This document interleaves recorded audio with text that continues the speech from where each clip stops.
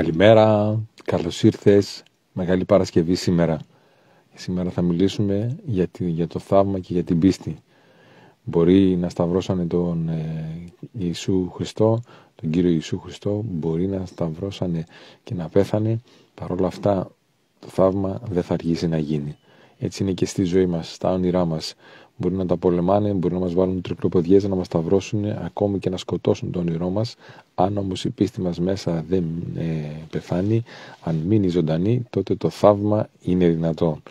Μπορεί να μην πετύχει εκείνο το συγκεκριμένο όνειρο, αν συνεχίσουμε όμως να προσπαθούμε, αν συνεχίζουμε να ελπίζουμε και να επιμένουμε, τότε κάποια στιγμή θα έρθει το θαύμα και μπορεί να είναι στη διαφορετική μορφή από αυτή που το περιμένουμε. Το θέμα είναι όμως να συνεχίσουμε, να πιστεύουμε και να επιμένουμε. Αυτό ήταν το βιντεάκι μας για σήμερα. Να ε, έχουμε μια μεγάλη Παρασκευή γεμάτη κατάνοιξη και να αναμένουμε τη Θεία Ανάσταση. Φιλιά πολλά, ραντεβού αύριο στις 6. Γεια σας. Έλα.